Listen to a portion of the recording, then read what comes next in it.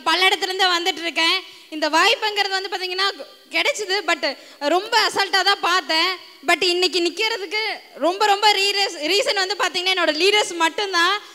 ஒவ்வொரு ஸ்டேஜில் என்னை மட்டும் ஒவ்வொரு ட்ரைனிங்குள்ளேயும் என்னால் முடியலனா கூட நீங்கள் உங்களால் முடியும்னு சொல்லி என்னை இவ்வளோ தூரம் நிக்க நிப்பாட்டியிருக்காங்க. நான் இந்த ஸ்டேஜில் நிற்கணும் நான் யோசிச்சதை விட என்னோட லீடர்ஸ் மட்டும்தான். அவங்க இல்லைன்னா சத்தியமாக இந்த ஸ்டேஜுங்கிறது கிடையாது.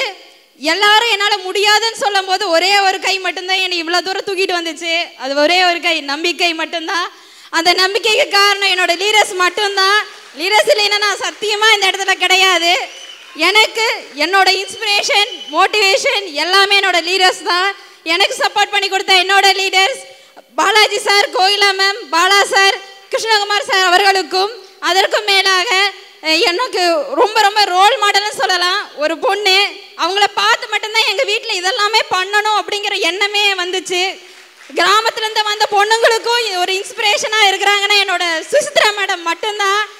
ஒவ்வொரு நாளும் என்னை மோட்டிவேட் பண்ணி உங்களால் முடியாது முடியாதுன்னு சொல்லும் போது கண்டிப்பாக இவங்க மட்டும்தான் முடியும் முடியும்னு என்னை தூக்கிட்டு வந்தாங்க. அதற்கு மேலாக என்னுடைய குருநாதர் எனக்கு மாதா பிதா குரு தெய்வம் எல்லாமே அவர்தான். சத்தியமாக ஒரே ஒரு ஈரோடு செமினார்ல எனக்கு தெரிஞ்சு சார் ஓரத்தில் நின்றுட்டு இருந்தாரு. இங்க ஸ்டேஜ் ஏறினவங்கெல்லாம் லீடர் ஸ்டேஜ் ஏறும்போதெல்லாம் சாரை பத்தி பேசும்போதெல்லாம் அங்கிருந்து ஓரத்துல இருந்து ரசிச்சுட்டு இருந்தாரு. நான் என்னைக்கோ அன்னைக்கு முடிவு பண்ணேன் இந்த கூட்டத்துல இருந்து. என்னைக்காவது ஒரு நாள் நான் இந்த இடத்துல பேசுவேன் என் லீடர் அதே மாதிரி பார்க்கணும்னு ஆசைப்பட்டேன். இன்னைக்கு நிறைவேறிருக்கு.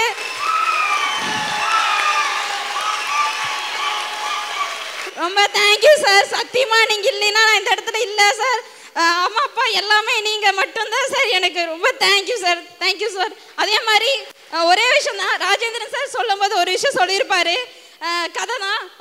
சில சிற்பி கதை சொல்லியிருப்பாரு. இங்கே இருக்க நான் வெறும் சிலை மட்டும்தான். என்னை செதுக்கின லீடர்ஸ்க்கு எவ்வளோ நன்றி சொன்னாலும் பத்தாது. ரொம்ப ரொம்ப நன்றி. தேங்க்யூ லீடர்ஸ் இந்த மாதிரி எங்களுக்காக வாய்ப்பு கொடுத்த எம்டி சார் அவர்களுக்கும் தேங்க்யூ சொல்லிக்கிறேன். தேங்க்யூ சார் எல்லாருக்கும் குட் மார்னிங் என் நேம் வந்து சந்தியா. பார்த்தீங்கன்னா இந்த மாதிரி ஸ்டேஜ் எல்லாம் வந்து எனக்கு ஃபர்ஸ்ட் டைம் நான் நிறைய ஸ்டேஜ் எல்லாம் ஏறினது கிடையாது. இதுதான் எனக்கு ஃபர்ஸ்ட் டைம் இன்னொரு விஷயம் சொல்லணுன்னா அம்மாக்கெல்லாம் இந்த வாய்ப்பு கிடைச்சி அவங்க யூஸ் பண்ணிக்கல. ஸோ எனக்கு கிடைக்கும் போது நான் வந்து சார்கிட்ட சொன்னேன் அம்மா பத்து வருஷத்துக்கு முன்னாடி பார்த்தாங்களாம்மா சார் இதெல்லாம் எப்படி ஆகும்னு சொன்னாங்க. அம்மா அவ சார் வந்து ஒரே ஒரு விஷயம் தான் சொன்னார். என்னென்னா பத்து வருஷத்துக்கு முன்னாடி அம்மா இந்த இடத்துக்கு வந்திருக்காங்க. நீ வேலை தேடி வந்திருக்க. நாளைக்கு நீயும் இந்த விஷயத்த விட்டுட்டு வே வேற எங்காச்சும் வெளியே போய் நீ வேலை தேடின அப்படின்னா நாளைக்கு ஓம் பிள்ளையும் இதே இடத்துக்கு கண்டிப்பாக தேடி வருமா? என் கூட நின்று அப்படின்னு தான் சொன்னார். இங்கே ஒரு சில பேர்த்துக்கு தெரியும் நான் வந்து அவரை சாருன்னு கூப்பிட்டதை விட அப்பான்னு கூப்பிட்டது தான் ஜாஸ்தி. ஸோ என்னை அப்பா ஸ்டேஜ்லேருந்து என்னை அழகுப்படுத்தி பார்த்தவர் அவர். அவருக்கு ரொம்ப ரொம்ப ராஜராமன் சாருக்கு ரொம்ப ரொம்ப ரொம்ப தேங்க்யூ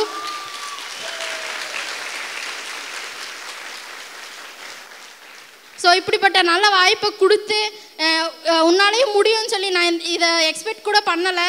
என்னை அவ்வளோ நல்லா கைட் பண்ணி கு- கொண்டு போயிட்டு இருந்தேன். என்னோட leader Chandra ma'am and Rajaraman சாருக்கு ரொம்ப ரொம்ப ரொம்ப தேங்க்யூ ஸோ மச் இப்போ இந்த மேடையில் வாய்ப்பு கொடுத்த சாருக்கும் எம்டி சாருக்கு ரொம்ப ரொம்ப thank you thank you so much good morning good morning to all என் பேர் யுவராஜுங்க. சொந்த ஊர் எல்லாமே ஒரு தாராபத்து பக்கத்தில் ஒரு சின்ன கிராமம். ரொம்ப டெவலப் ஆகாத ஏரியா தான். இந்த மாதிரி இந்த பிஸ்னஸ் வாய்ப்பு வந்து பார்க்கறதுக்கு முன்னாடியே பண்ணால் ஒரு ஐடிஐ டிப்ளமோ மெக்கானிக்கலாக ஒரு ஒரு ஒரு வருஷம் வேலை செஞ்சுட்டு இருந்தேன் படித்து முடிச்சுட்டு. நான் ரொம்பலாம் படிக்கலைங்க. டென்த்து முடிச்சோன்னே ஐடி போய் ஜாயின் பண்ணிட்டேன். அதுக்கப்புறம் எனக்கு பெருசாக படிப்பு வரல. சோக்கை என்ன பண்ணுறதுன்னு தெரியாமல் கோயம்புத்தூரில் வேலை தேடலாம் ஏதோ ஒரு கம்பெனியில் வேலை கிடைக்கும். அப்படிங்கிறக்காக நான் வேலை தேடும்போது என் ஃப்ரெண்டோட வந்து பார்த்தேன். எல்லாம் சொன்னாங்க பிடிச்சிருந்தது. இந்த பிஸ்னஸ் எடுத்து பண்ணினேன். வந்து கிட்டத்தட்ட பண்ண இன்னைக்கு ஒரு குறிப்பிட்ட நாள் ஆச்சு. இன்னைக்கு இந்த இடத்துல வந்து பண்ணால் இன்னைக்கு ஒரு நாள் எங்கள் ஏரியாவில் வந்து பண்ணால் டெவலப் ஆகாத ஏரியா தான். ஒரு நாளைக்கு போனால் கூலி வேலைக்கு மட்டும்தான் போயாகணும் இரநூத்தம்பது ரூபாயிலேருந்து முந்நூறுரூவா சம்பளத்துக்கு நான் காலையில் அஞ்சரை மணிக்கு தேங்காய் உரிக்கிறேன். போயிருக்கேன் நான் இந்த இடத்துல. சொல்ல போனால் அந்த மாதிரி சம்பளத்துக்கு வேலைக்கு போயிட்டு இருந்த பையன் தான் நான். ஒரு நா ஒரு வாரம் ஃபுல்லாக வேலைக்கு போனால் ஒரு ரெண்டாயிரத்தி ஐநூறுரூவா சம்பளம் வாங்குறத பெரிய விஷயம் தான். அதுக்கு மேலே பெருசாக எதுவும் பண்ண முடியாது. ஆனால் இந்த இடத்துல இந்த பிஸ்னஸ் எடுத்தது மூலிமா இந்த இடத்துல ஒரு வார வருமானம் மட்டும் கிட்டத்தட்ட அங்கே போய் கிட்டத்தட்ட மூணு மூணு மாதம் சம்பாதிக்கக்கூடிய ஒரு ஒரு வருமானத்தை இங்கே இந்த இடத்துல ஒரே வாரத்தில் சம்பாதிக்க முடியும். இந்த இடத்துல ப்ரூவ் பண்ணி காமிச்சிருக்கேன். தேங்க்யூ இன்னைக்கு வந்து எனக்கு சொல்ல இந்த ரெகன்சேஸ் அப்படிங்கிறது என்னோட லைஃப்லேயே இல்லை எங்கள் அப்பா எங்கள் பரம்பரையிலேயே ஃபர்ஸ்ட் டைம் என்னோட ரெகன்சேஷன் இதுதான். எவ்வளோ ஸ்ட்ராங்காக பேசியிருக்கேன்னா ஏன்னா இந்த பிஸ்னஸ் பண்ணுறது எங்கள் எங்கள் ஃபேமிலிக்கு டோட்டல் ஃபேமிலிக்கு யாருக்குமே தெரியாது. ஏன்னா சொன்னால் யார் வீட்லேயும் ஒத்துக்க மாட்டாங்க எதுவும் பண்ண மாட்டாங்க. ஒரே ரீசனால எங்கள் வீட்டில் சொல்லாமல் பிஸ்னஸ் பண்ணிருந்தேன் இன்னைக்கு பிஸ்னஸ் எடுத்து கிட்டத்தட்ட ஒன்று ஒன்றே முக்கால் வருஷம் ஆச்சு. இன்னைக்கு ஒன்றே முக்கால் வருஷத்துக்கு அப்புறம் இன்னைக்கு தான் எங்கள் அப்பாவுக்கு தெரியாது. எங்கள் அப்பா மதுரையில் வீடியோ கால் பேசிகிட்டு இருக்காரு.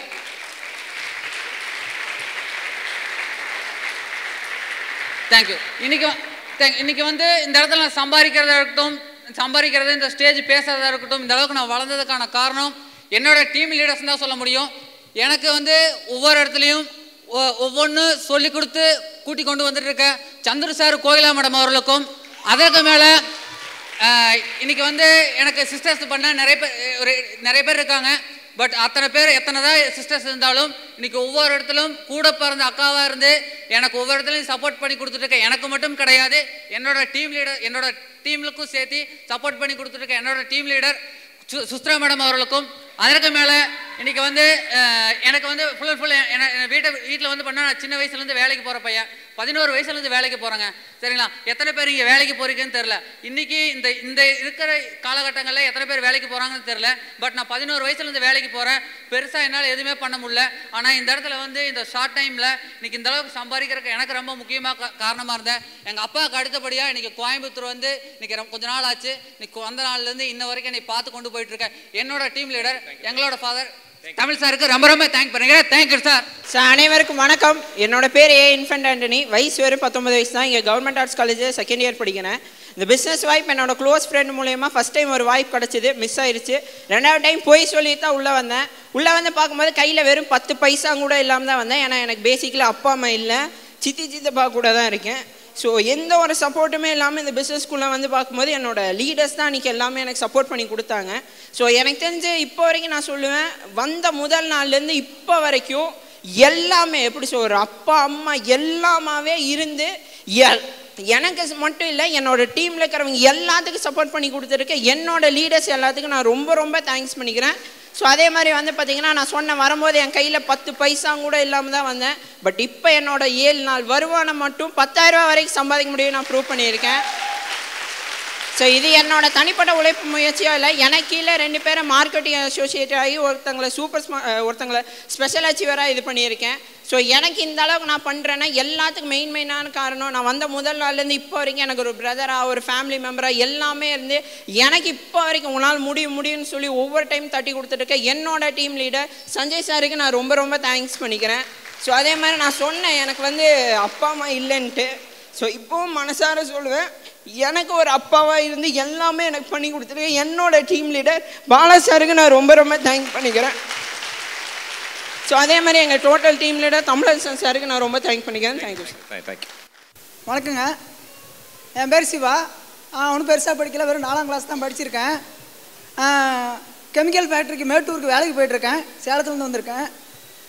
இது வரைக்கும் நான் எந்த ஸ்டேஜில் ஏறினதில்ல. முத முறை இப்போ தான் ஸ்டேஜ் இருக்கேன் ஸ்டேஜ் ஏறது காரணம் முழுக்க முழுக்க முருகன் சார் தான். நான் ஃபஸ்ட்டு ஜாயின் பண்ணிட்டேன்.